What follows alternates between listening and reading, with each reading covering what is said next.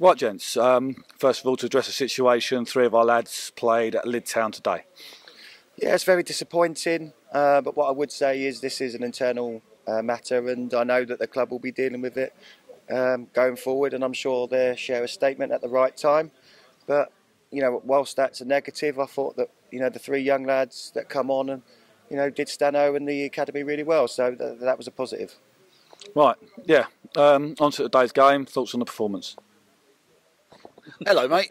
Um, my thoughts. Do, do, you know what? My thoughts on today's performance were the lads did well with everything going on, um, focusing on the game. Uh, Bognor played the right way. That, and I've got to say, I was actually really impressed by the way they played in the first half. It was a really good contest for the last game of the season. I thought we matched them. I think it could have easily gone either way. Um, they've cleared a couple off the line. We've hit the post a couple of times. Just so happens today that I think fortune went with them. And I'm not saying that they were lucky to get their goals. I just think it could have easily been a draw today. I thought it was a good game. Yeah, um, obviously there was nothing really riding up from either side, but I didn't think it was the worst game in the world.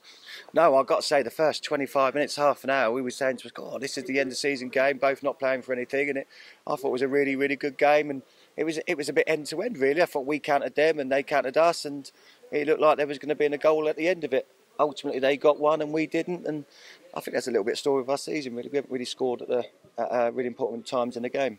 Yeah, scored scored right at the end of, of both halves. Yeah, they did, and I mean the, the second one, amazingly enough, is that we are pushing to try and get the goal to make it even. You know what I mean? And uh, I think they was a little bit fortunate with it. I mean, Scott's there, ricochets off him, and then ricochets off the next bloke, ricochets, spills to the next bloke who taps it in. Uh, as where the other way, you've got Greeny's put a great ball in. I don't know how the lad hasn't scored an own goal. It's fantastic defending. Ira's done the right thing, isolated the fullback, beat him, hit a shot, bloke gets a toe to it, keeper's nowhere near it. It's one of those things. I mean, um, the, the lads had a right go today. They played in the right spirit as Mev's already said earlier, the youngsters came in and they did us proud. They did Stano proud. I mean, he works from day in, day out. They came in, they gave their all. And it, it for, for me, that was a perfect way to end the season. Not result wise, but the lads' effort makes me happy, to be honest. Yeah, it was, um, especially in the circumstances, even in the circumstances, um, it was it was good to see three lads get get some minutes out there today. Yeah, like I said, it's a positive. You know, to be fair, Denty when he come on, he's this sort of player where he actually always has chances around him. You know, and that's a. Uh, you know, he's, he's a bit, maybe a bit like his dad. Maybe, maybe his dad might tell him he would have scored a couple of them. But no, you know, he all seems to have chances. Brad come on, and, and, and Jake started the game. So uh, there was positives uh, to, to the game today maybe fair to say that does sum up our season, though, that we've not we're not taken the chances when we wanted and been punished when at the, at the other end. Yeah, I, I, you know, all year we've seen it. We've created loads and loads of chances. Is it unlucky at times? Sometimes it is. Um, we, we definitely could have scored a few more goals this season. But I'd just like to go back to the kids. Um, the boys that are out there today, I mean, I spoke to them at the end. I said, look, well done, that's good. I mean, you've earned your minutes here today um, for good performances through the season and it's trying to get the kids up to the speed of the game. As I think Mev just said there, Denty's had a great touch. At this level, it's touch hit. At the level they're at, it's touch, touch, where's the keeper, place it. And it was quite refreshing to speak to the young lads, and they're well aware of the difference in the tempo and decision making, and it'll only make them better players, whether it's 10 minutes, 45 minutes, or 90, you know, so that's really good. Um, maybe that's a it's a bit it's a big pre-season for them lads to come in and, and and show maybe what they've got and get a lot of football against against whatever level of opposition we play in pre-season. Yeah, it's going to be a really big pre-season because obviously there's going to be changes and uh, you know we're going to see some new faces and, and the youngsters are going to come in and have a full pre-season with us and know what we expect and uh, you know I think it's a really exciting time. I, I, know that the season's just just finished, but we you know we're we're looking forward to uh, well have a rest first, but we will look forward to pre-season and working hard with the players.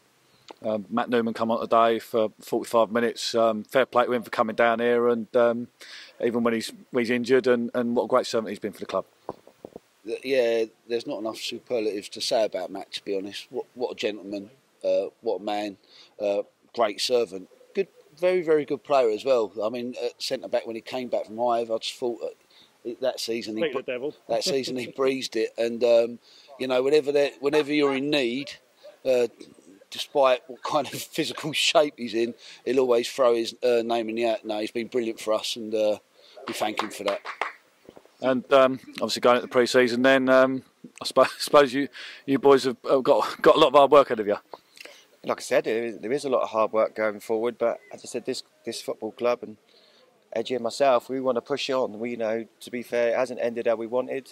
Um, we don't want to have games that's not worth anything at the end of the season. Next next year, we hope to be different and and, and really pushing forward. And I'm sure with the uh, you know the, the, right faces coming in and, and and the mix of maybe a few of the others that are here, that we'll be stronger next year. And that, and that's the hope, and we'll work really hard to achieve that. Obviously, we've got a got a uh, evening with you lads, and, and then a presentation even next week. So we look forward to seeing them. Cheers, mate. Cheers. No Cheers, Dave. Right, Matt. Um, that's an end to it after after ten years at football club. Yeah, here a long time. Uh, really enjoyed myself.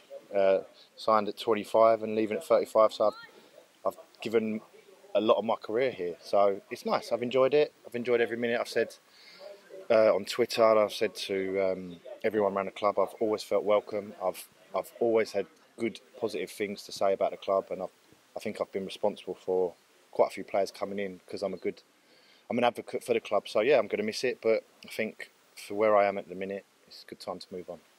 Um, obviously, you've changed a lot as a player uh, during that time. Yeah, yeah. Well, I could run when I was 25. Is that is that what you're getting at? well, um, I meant more like from midfield to centre half and, and finishing off in midfield again. Funnily enough. Yeah, strange, isn't it? It's gone full circle. Um, yeah, I changed. I mean, football's changed. I was probably more of a ball player when football was more physical, and now it's turned the other way, and I'm more of a physical player. And now it's a ball playing game. So uh, I think I've done it the wrong, wrong way round. But no, yeah. Uh, listen, I'll play anywhere just to get on the pitch. As you get older, you realise time is uh, limited and games are limited. So just to get anywhere like today, just groin's no good, but 45 minutes done me done me good. It's a good way to say goodbye, apart from losing. Yeah, um, um, as, um, as much as you've changed, the, the, football club has changed a lot in that time as well.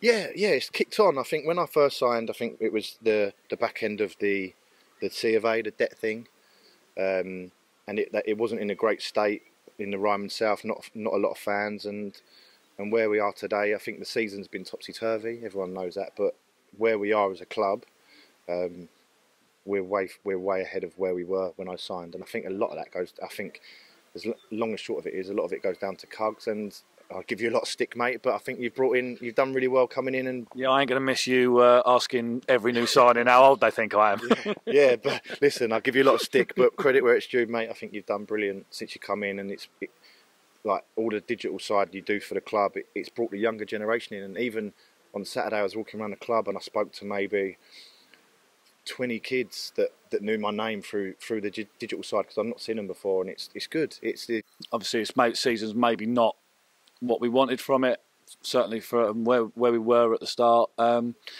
but is it fair to say it's it's one bad season after after an awful lot of good ones, and, and sometimes that's you, you can't have a good season every season.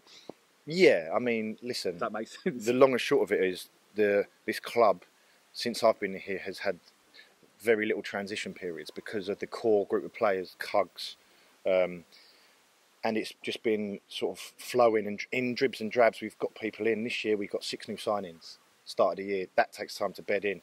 As we started to bed in, obviously the chairman left. Cugs goes upstairs. Two new managers. So listen, it's been a it's been a transitional period in every sense at the club and during this transitional period to finish what ten? Well, listen, last three games, whatever, we had nothing to play for.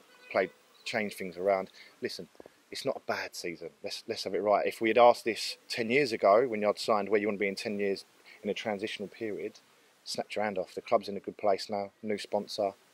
Cugs upstairs. You've got two great managers, two proper footballing gents.